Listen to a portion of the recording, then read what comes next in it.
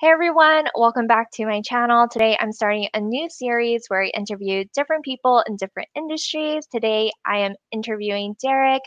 Hi Derek. Hi Jen, how's it going? Good. I'm so glad you were able to join today's interview. Before we get started, did you want to introduce yourself to people that may not know you? Yeah, sure. Um, my name is Derek. Uh, I am currently a menswear buyer at a men's lifestyle startup uh, based in New York. I did graduate with an accounting and supply chain double major, I had some tax internships in college.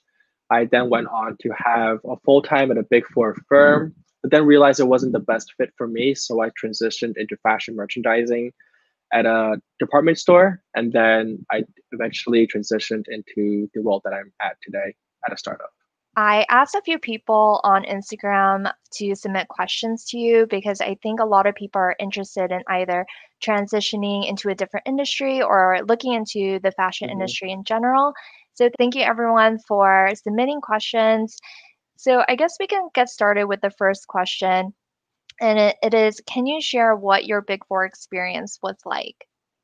Oh, that's a loaded question. Um, I would say my Big Four experience was really eye opening on many levels. On one hand, it really helped me learn how to be successful in a professional setting. It really taught me the value of hard work, attention to detail, especially from being an accountant. You got to be really careful with the numbers and details. And it really taught me perseverance. So, really having the fortitude to work late hours, if you don't feel like you have the perseverance to really push through busy season, it might not be the right industry for you. But I think most importantly, it really taught me what I really valued in a job.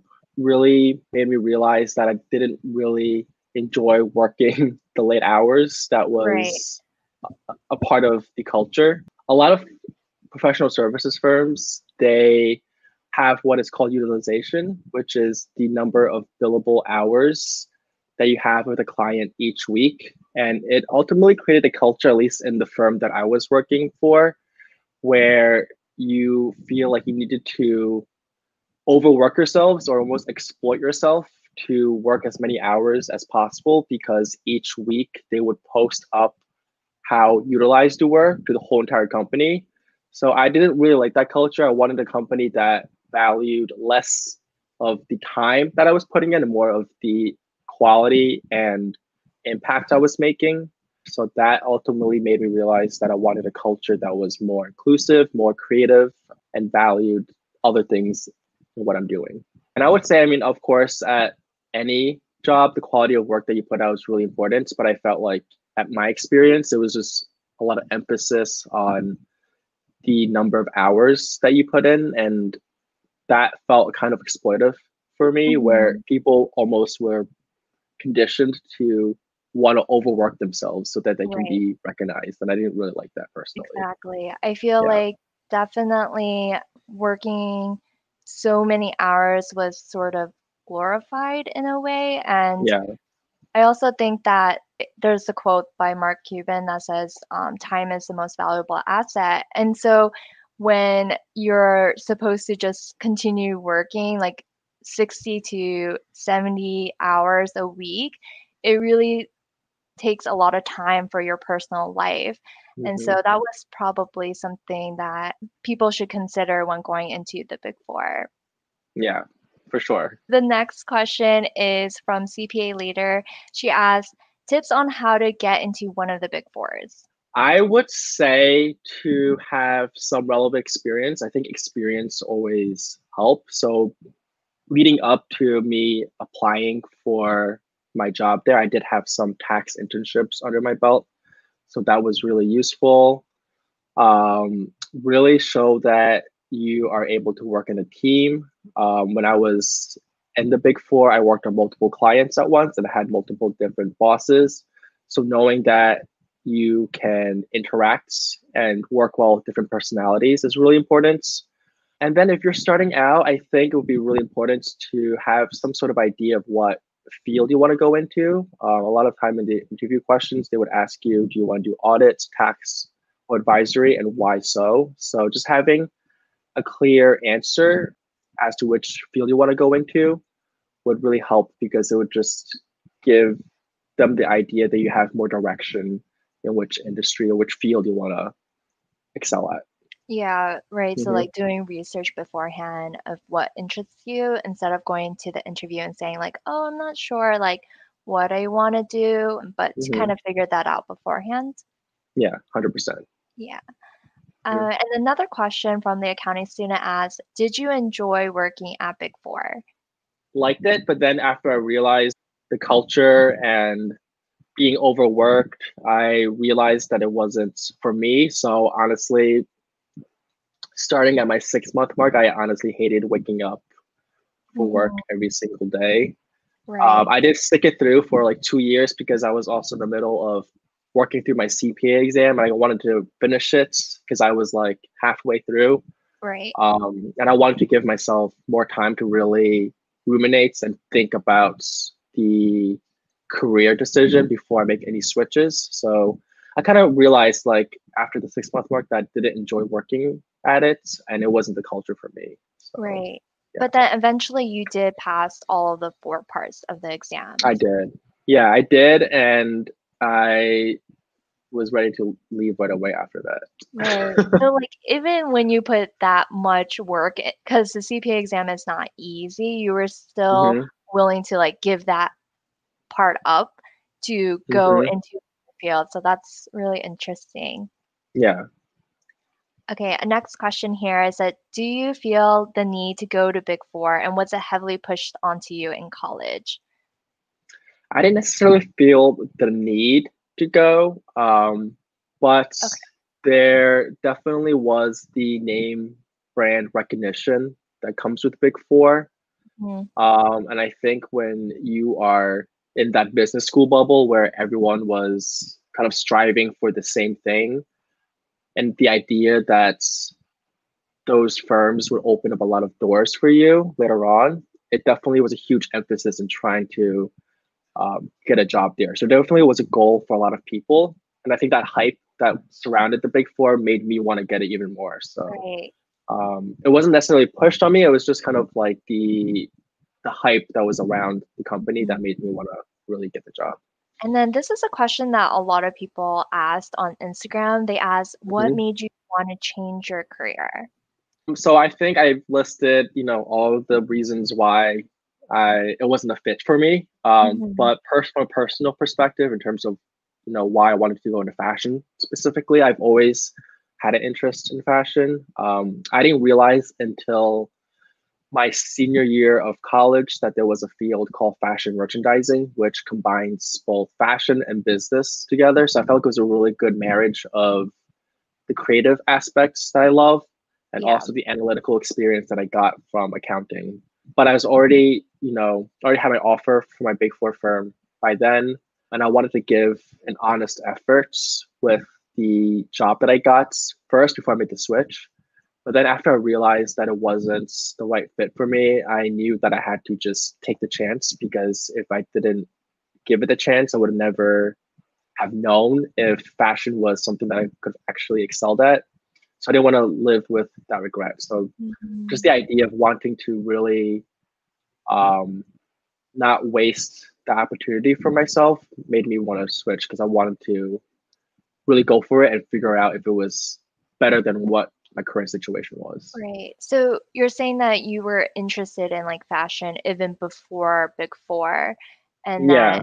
you, when you realized you kind of didn't like working at Big Four, you decided to kind of give it a shot.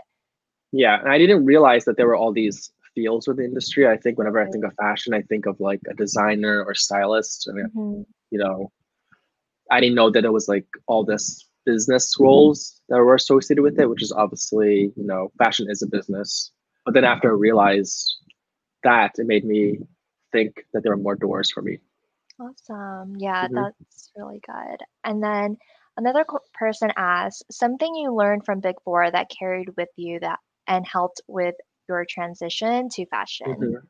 Surprisingly, even though I work in fashion, I'm in Excel every single day um, Oh, because I am doing the business side of it. So I've gained a lot of, you know, really strong Excel skills um, from accounting that carried through with me when I'm analyzing the business in my current role that a lot of my peers didn't really have the experience. Right. Um, I learned how to be really analytical Mhm. and pay attention to detail. Um, I had some bosses who were super strict with the quality of the work output that I had. So that in turn made me really made sure that I really excelled in my current role. Uh, one of my bosses back in my big four firm told me that whenever you do something, you have to pretend that the VP or the, the CEO is seeing Right. it. So that really carried through with me when I went to my roles in fashion. Um, I think I instilled a lot of hard work and Mm. um, attention to detail from my big four experience. Awesome. Yeah, it Mhm. sounds like there are a lot of skills that you were able to kind of gain and then later Mhm. be able to use that in your current role. So that's awesome to hear that it wasn't just time like wasted, but there was actually some value that you got from the experience at Big Four. So that's really Hundred good. Yeah. Yeah. Um, next question is, what was the transition like from accounting to fashion, and how did you get the opportunity? I thought the transition was relatively seamless. Um, it was Okay. definitely a little bit challenging at first, but I did try to leverage the skills that I had in accounting and making the transition. So I took little baby steps in fashion to get to where I am today. Mm-hmm. So when I first left the Big Four firm, I um, joined the merchandising office at a department mm-hmm. store. And within that office, I was working in the planning department. So it was a lot of financials, a lot of numbers, and not a lot of product yet. So that was still very transferable from accounting.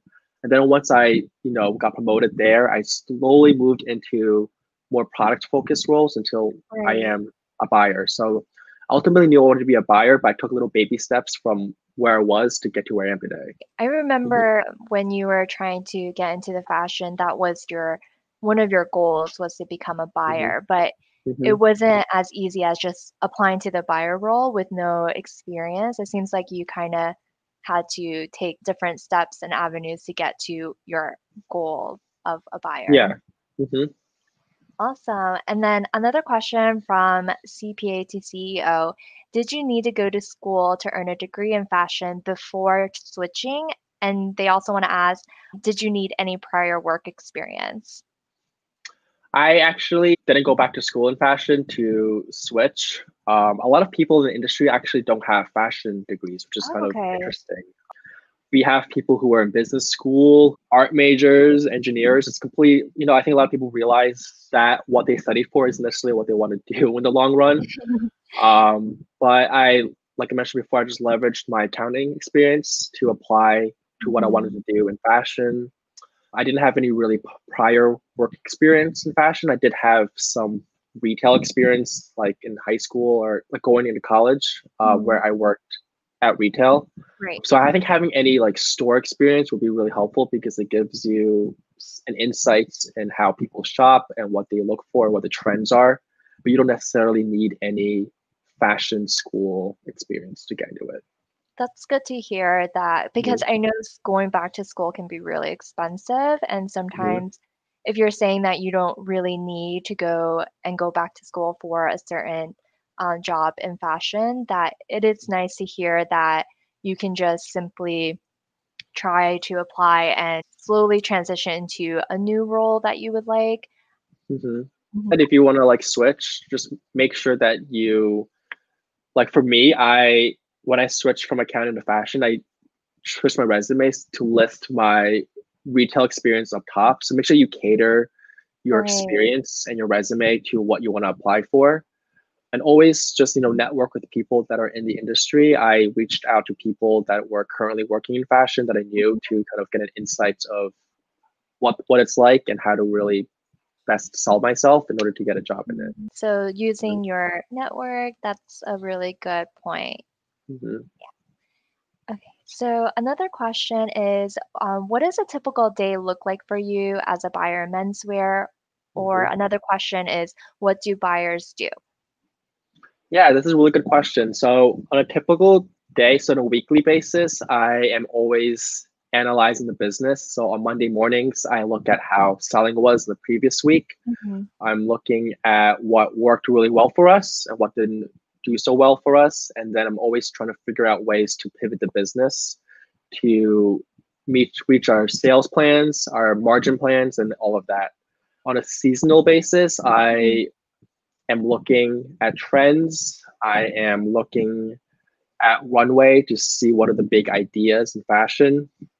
And I would usually go to markets to work with our vendors to buy stuff. So what markets is, I would go to the vendor showrooms.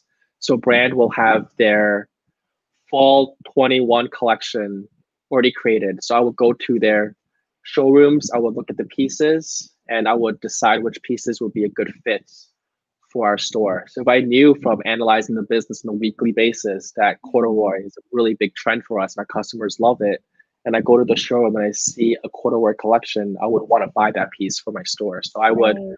leverage what I've learned from analyzing the business and look at what the future trends are, and then go and do the buying and negotiating for the pieces for my store. So it's a really good mix of analytical and the arts um, right. in a job.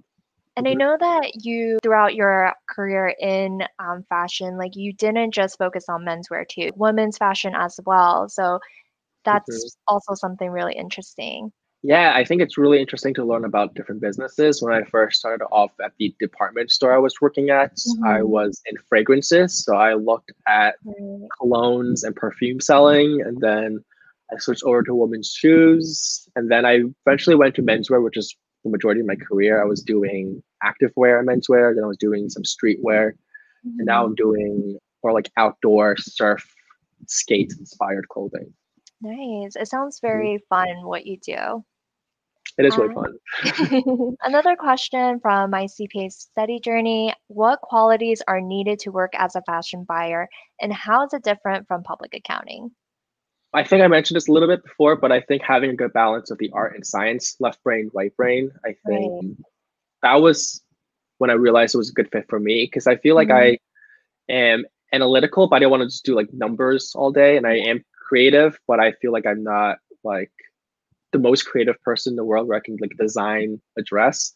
I feel mm-hmm. like this is a mm-hmm. nice little happy medium yeah. for me. Um, so you having the analytical skills to look at business, look at a business, see what opportunities there are, and know how to run it. But then also having a taste level and seeing what looks good and knowing what um, customers may like and may not like. Um, it's a really nice little happy medium between the art and science, um, yeah. having both of those skill sets in the brain. And I would say that's really different from public accounting because accounting is very black and white. So yeah, um, very much so. I felt like that was the major difference between public accounting. And I also yeah. didn't get to see cute clothes all the time. public accounting is the difference. So next question is on the scale of one to ten, how much did you like accounting versus how much do you like your current role in fashion? So my current role, I would say a nine point five. Wow.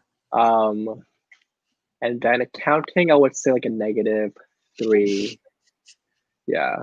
Okay. Like I like my boyfriend is had like a tax question mm-hmm. recently for his tax returns, and I'm like, I can't really help you. Like I have blocked that in my brain for, for for the past like five years, so I have no idea.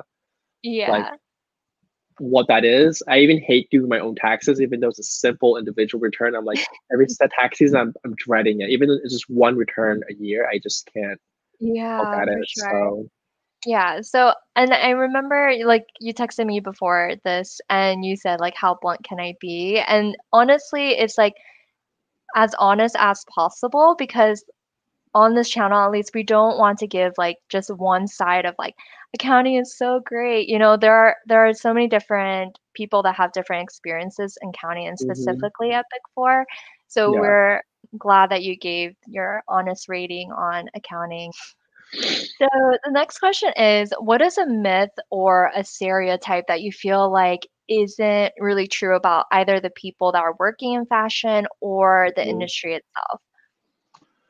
I think there's definitely a stereotype that people in fashion are super sassy and catty. I think people instantly think of Devil Wears Prada, think of Miranda mm-hmm. Priestly. Um, I think some of the older generation of people in the industry can be like that from my personal experience. Okay. Um, but for the most part, everyone that I've worked with is super chill, um, super business savvy, and super forward thinking. So I've had a really good experience working in the in the industry personally, and I love the culture that I'm at. Um, it also depends on the company. I know certain fashion houses may be a little bit more old school in terms of what I've just said, in terms of the cattiness. But I mean, for the most part, my personal experience has been really positive. So that's awesome. Mm-hmm. I feel like it's so hard for people to have that or to find that where they love like the culture and also the people. It's really good to hear that you had like a positive um, experience. Next question is um, regarding technology. So, do you mm-hmm. think technology is changing or could change the fashion industry? And oh, if so, how? 100%. It is changing the industry so much. I think, at most basic level, with mobile phones and smartphones and, shop- and shopping mm-hmm. online, that has changed. People are shopping a lot more online now. So I think last year people shopped 50% more online than they did previously. Retailers are trying to find ways to engage with the customers more online because of this. Uh, they are just trying to find ways to connect with them using technology. So I'm seeing companies using uh, VR now in the shopping experience. Oh, wow. Um, some brands are will create like an avatar for you online after you put in your measurements so that when you buy something online, you can kind of see how it fit on your body. Because one of my biggest complaints from shopping online is getting it and then realizing it's not the best fit or it's not what I expected. Right. So they're trying to do that to reduce the number of returns that they get.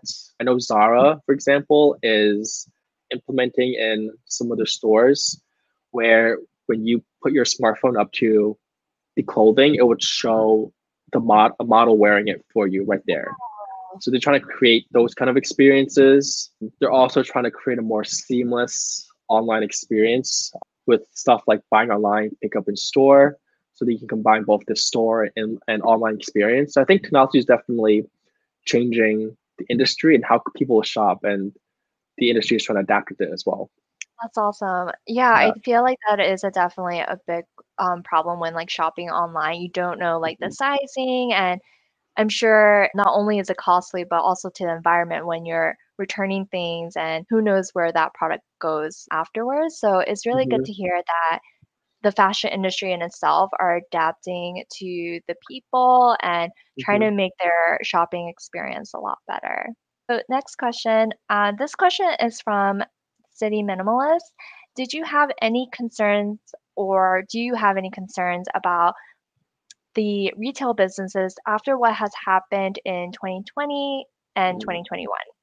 I had concerns about the retail business even before. I think oh, wow. the shrinking middle class and the changing shopping habits of millennials have been a detriment. Um, people are sh- spending less money and more of their wallets is being spent on experiences because millennials love to spend on experiences more.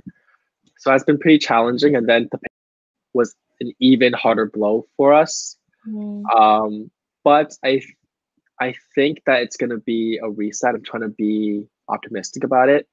Um, it was pretty sad to see some of my favorite specialty stores close. It will just cause, will force the industry to be more adaptive and to think more innovatively for right. the future. So I think companies that have better customer service, more technology infused into the shopping experience will ultimately survive. So I, I'm hoping that this will just be like a nice reset for industry and mm-hmm. it will be better from here on out. But it was it was pretty shocking. I had a lot of friends in the industry who were furloughed or got laid mm-hmm. off, and it's been pretty challenging to be honest to find a job right now in the industry. So I feel really lucky that my company is doing well and it's stable and it's growing. So yeah, it's definitely a challenging time right now.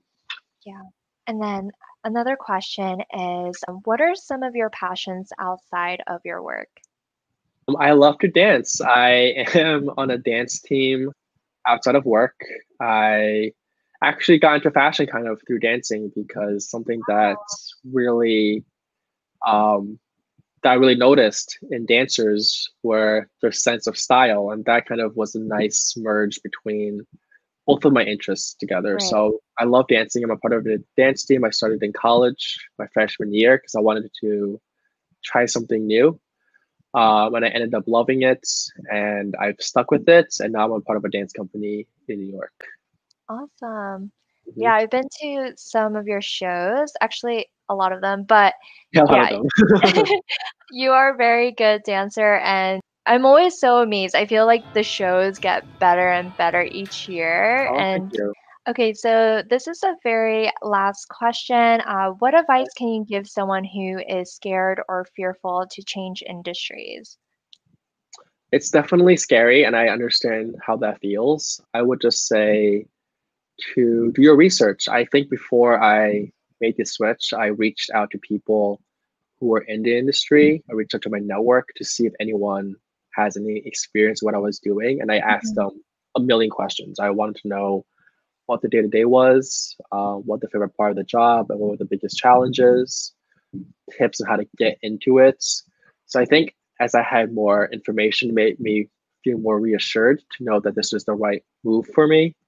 And I would also say to just adopt the mindsets that you only have one life to live. And if you don't go for what you really want to go for, you may end up regretting it. So just make sure that you, you know, capitalize and make the most out of any chance that you can get.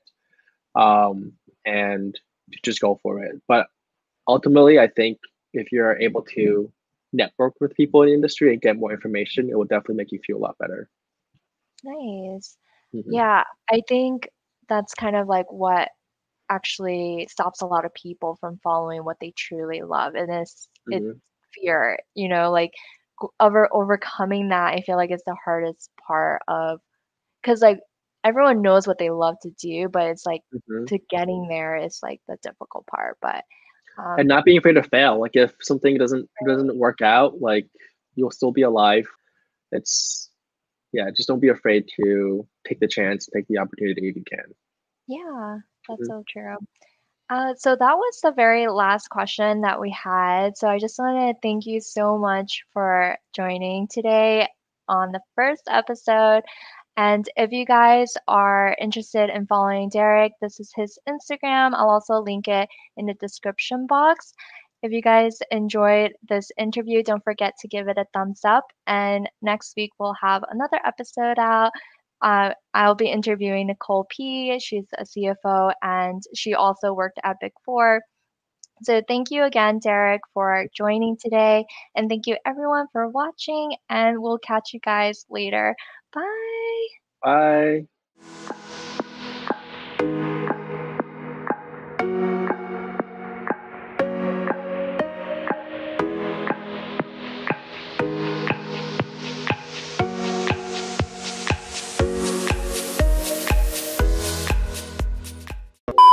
And start sorry.